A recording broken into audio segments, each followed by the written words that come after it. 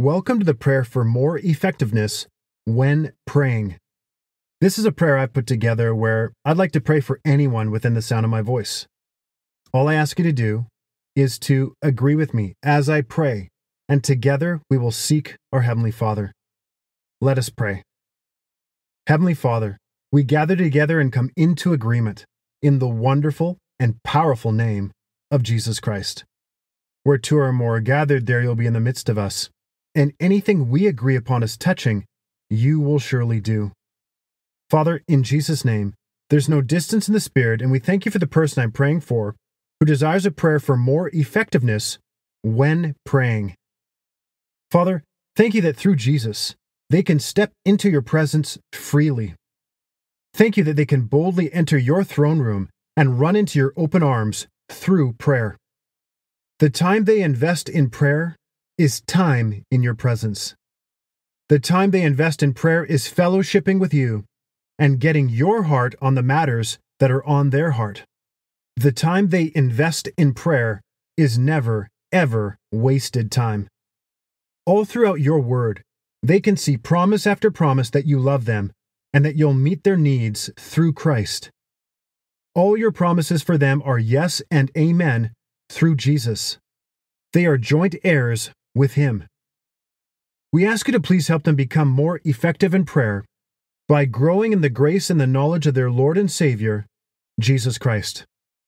Yes, please help them seek out numerous scriptures that apply to the distinct situations that they want to pray about. With the help of the Holy Spirit, once they find those promises, help them to know deep within themselves that they have found your will on the subject. Your word is your will, and if they pray according to your will, they can have confidence that you heard them when they prayed and that the answer is on the way. Hallelujah. Lord, they purpose in their heart to turn up their prayer life by basing what they ask on your word. They desire to come to you in confidence and assurance as they submit specific, detailed requests to the needs that are on their heart that are tied to scriptures. In your word, you've commanded them to ask that they might receive so that their joy would be made full and that you'd get the glory. Going forward, when they pray, they commit themselves to believe you when you say you delight in answering their prayers.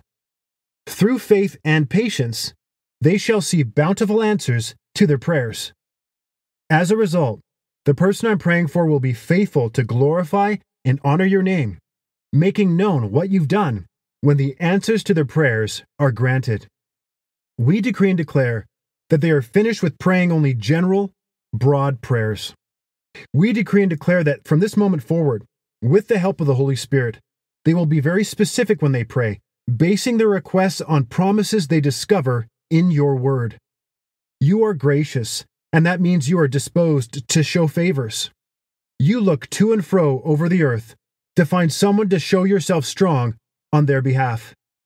You are eager to answer their prayers, and your word holds promises that you freely want to bring to pass in their life.